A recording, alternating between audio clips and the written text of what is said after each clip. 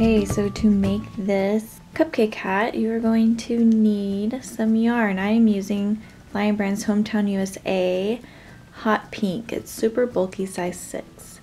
And then I'm using US size 11 circular needles. And then um, when you start decreasing, you're going to need to put them on double pointed needles or get a larger cable to do um, the magic loop method. You're going to need your stitch markers. I'm out of town, so I just made my own with some key rings and twisty ties. And then a needle to weave in your ends. Okay, so I'm going to do size small, and so you get your yarn, and we're going to make a long tail cast on. So what you do is we're going to make a slip knot.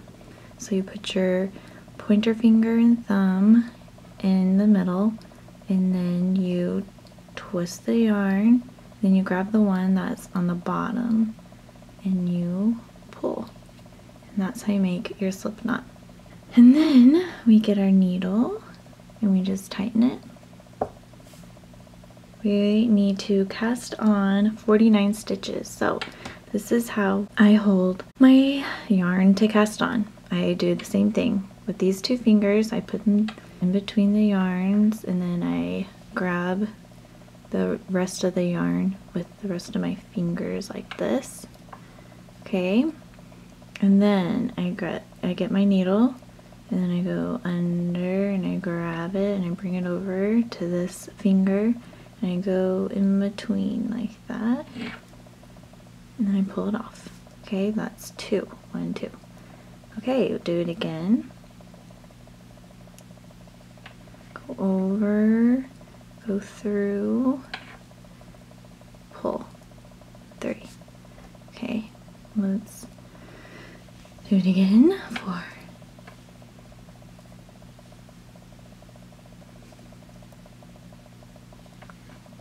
Around here, go through both of those, and tighten it. Okay.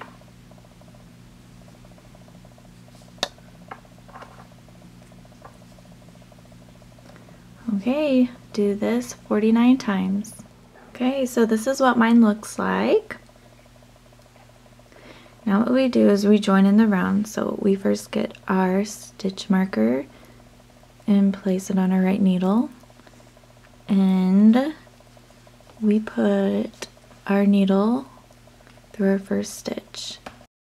And then we go from the front to the back like that. And then our yarn is in the back and this is how I hold it. So I wrap it around my pinky and then I put it above my pointer finger.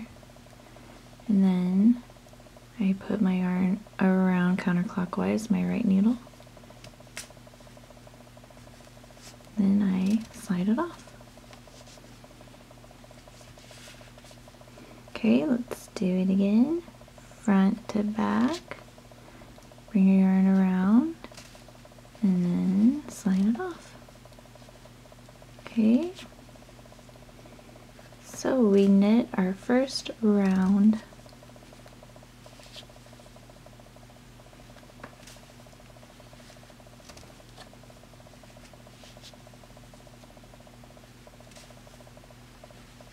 all the way to the end. Okay, so I just finished my first round of knitting. Now we're going to place our marker, bring it over to our right needle, like that. Okay, now we're going to do the spiral pattern. So we do knit 4, purl 2, all the way to the end of the round, and there will be one stitch left. And I will show you what to do with that. So we knit 4, 1, 2, three, four. Okay, now to purl, we bring our yarn, our yarn's in the back right now when we knit, but to purl, we put it in the front. And then our right needle goes from the back to the front. And then we bring our yarn around our right needle counterclockwise and slide it off. Okay, so our yarn's still in the front, right? Bring our needle from the back to the front, just like that. Bring it around our needle. Pull it off. Okay. Now we need to knit four again. So bring our yarn in the back when we knit. And let's knit four. One, two, three, four. Then purl two, bring your yarn in the front. Go from the back to the front, bring it around. And let's do the next one. Okay. So you keep doing this knit four, purl two, all the way around. Okay, so this is what mine looks like so far. And I just finished my last purl two. And we have one extra stitch before we start a new round. So what we do is, this is where we start our next spiral pattern for the next round. We just start here because that makes it go off by one stitch and makes a little spiral, okay? So we do our knit four starting here. One, slip it over. Two, three, four, bring our yarn in the front and purl two.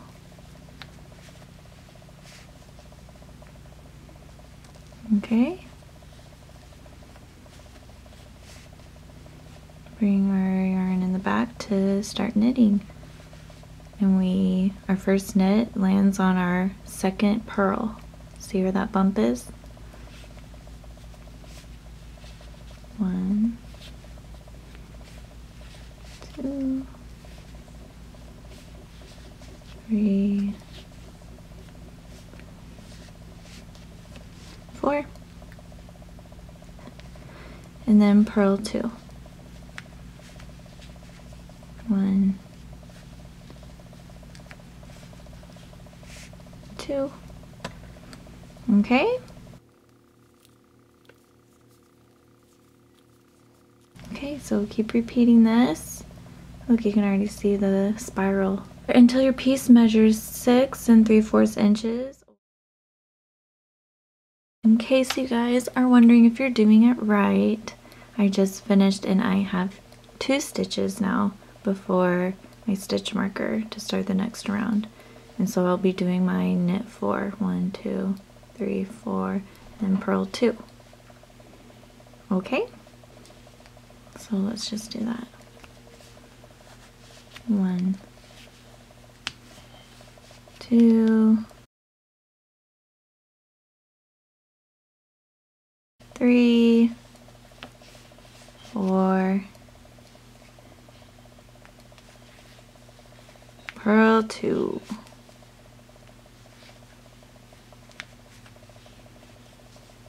Okay. Okay, so this is what mine looks like. I'm ready to decrease. So make sure that your last um, regular round you end with a purl 2 because I'm going to do the decrease rounds in a different way just because I don't know too many stitch markers and I also want to keep our spiral pattern all the way to the very end and they just do knits the whole way. So it kind of looks done that way. So if you want to do it my way then follow along with me. If not then just look at the written pattern. Your first decrease round is going to be knit two knit two together purl two knit four and purl two. So let's start do our knit two. And then knit two together.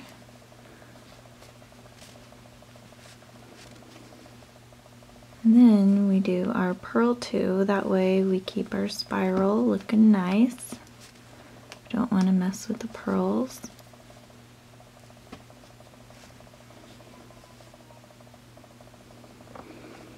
Okay and then because you see how we have the line, the strip, and then just the plain.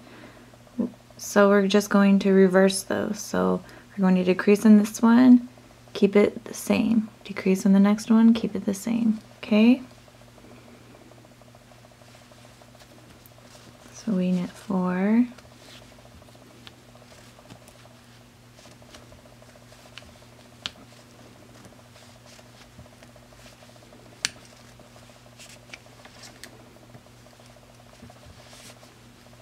And then we purl two.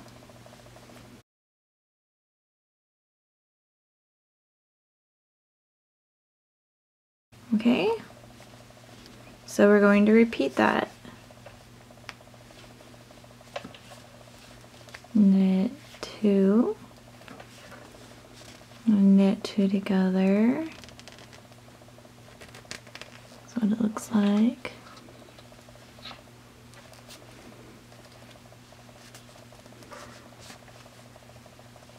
And then purl two.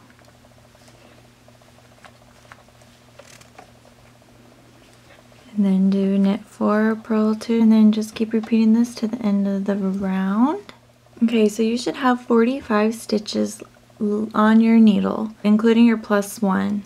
Okay, so I did my knit four, purl two, and I have your plus one. So we're going to start our second decreased round with this one, okay? And it's going to be the opposite. So we're going to knit three, purl two, and then we're going to do our knit two, knit two together, purl two. So let's start. Knit one, two, three,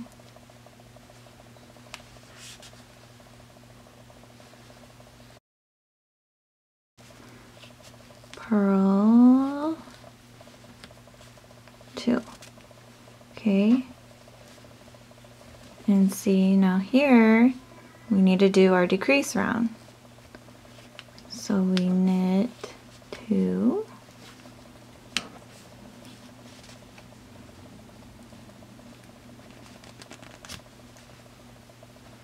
Knit two together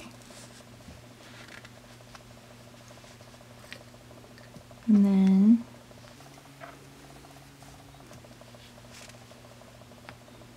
purl two. Okay. Okay.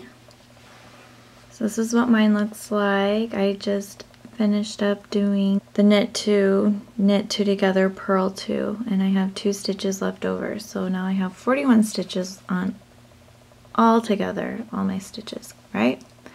Okay, so and then for round three, we're just going to continue in the spiral pattern. We're not going to decrease on round three at all. Okay,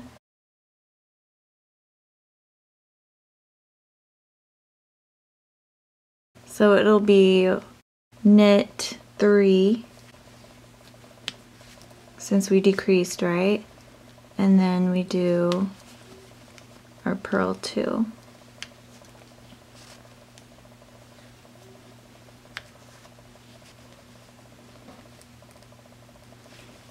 Knit three.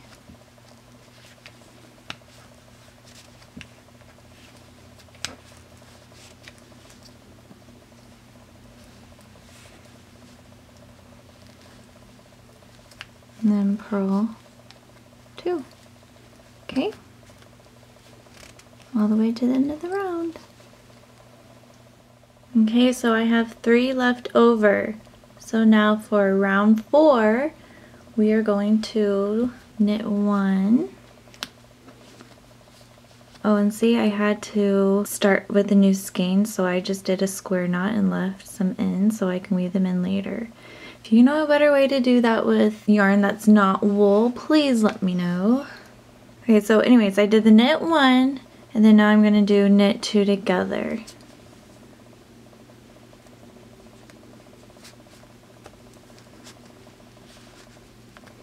And mm, place my marker. And then bring my yarn in the front and do purl two.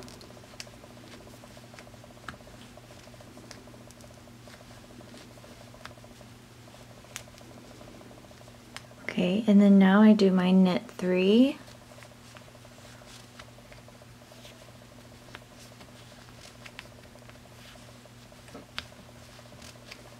And purl two.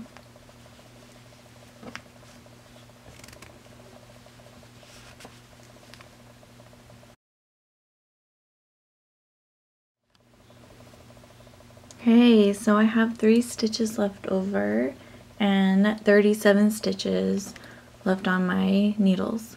I will have my pattern written for the decrease rounds listed on my blog under this video in the description bar. There will be a link to it, okay?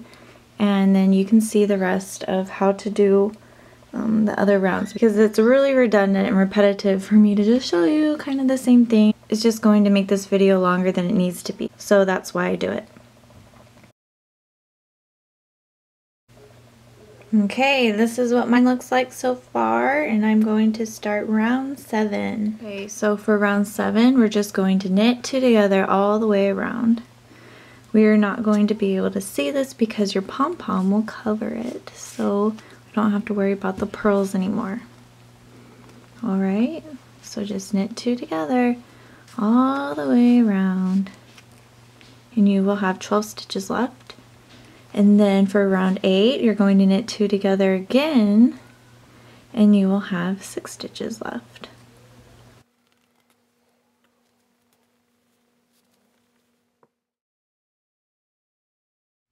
Now we cut the yarn and we pull it through our remaining stitches so you can your needle and pull it through. So I just pull them off the needle and then I go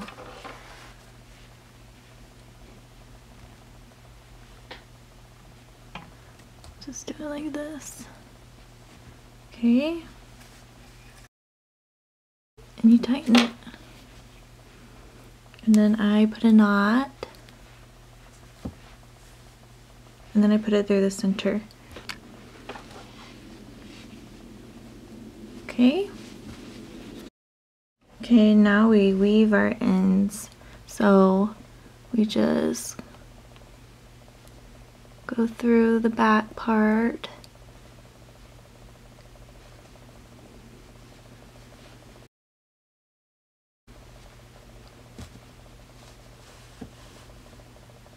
and then kind of go back.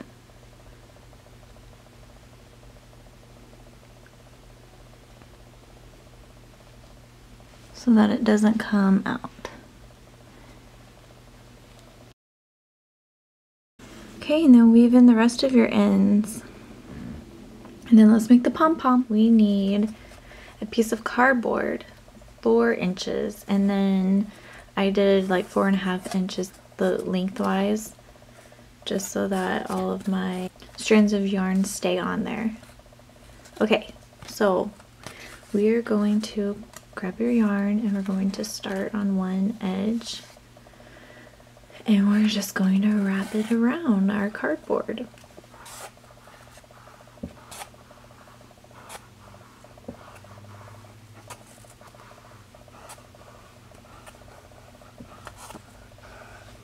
Okay, so just keep doing this 80 times.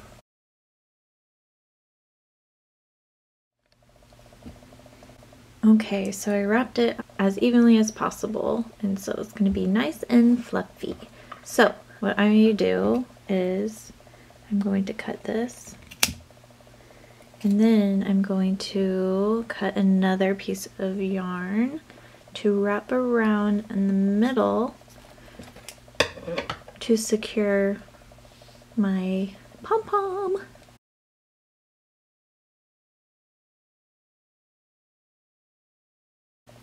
put the yarn underneath it just so that it's ready. Okay, we're going to slide the yarn off of the cardboard.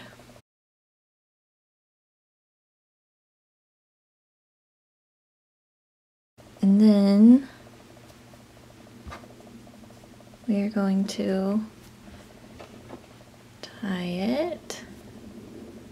I don't know if you can see. In the middle.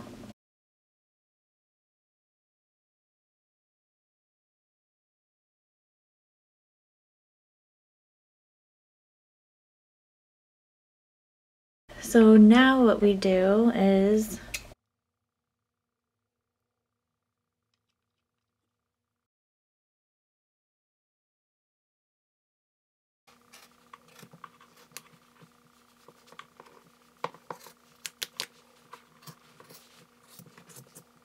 we grab our scissors and then we trim it to make it look nice and even.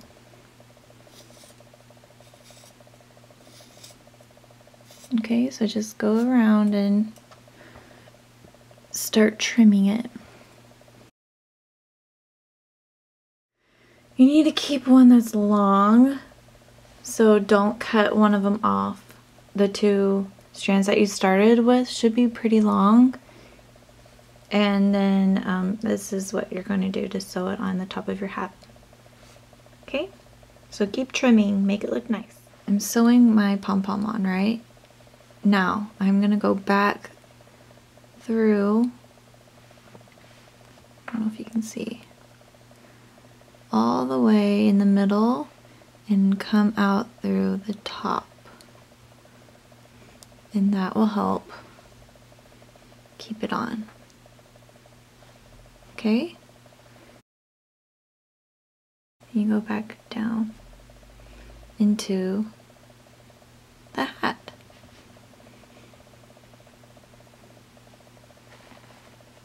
Okay? And that's how you attach the pom-pom.